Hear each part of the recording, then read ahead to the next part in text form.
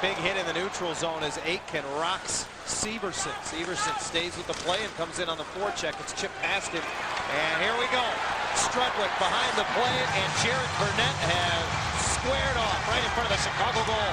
Burnett got a left in, switches up to the right. He's got Strudwick turned sideways, and as he goes down, he delivers one for good measure as the linesmen step in. Earlier this season, Garrett Burnett had a couple of scraps with Ryan VandenBussche of the Chicago Blackhawks. Tonight he finds a willing combatant in Jason Strudwick. And this, you know what, Johnny, I was going to say that one of the things that Garrett Burnett is bringing to the Ducks is early energy in hockey games. And it's one of the reasons why Babcock has had him in the lineup more and more frequently. Likes to fight, obviously, that's his role on the team, but it seems to help his teammates play a little bit better sixth consecutive game in the lineup for Burnett, who has found himself in and out of the lineup all year and had to deal with it.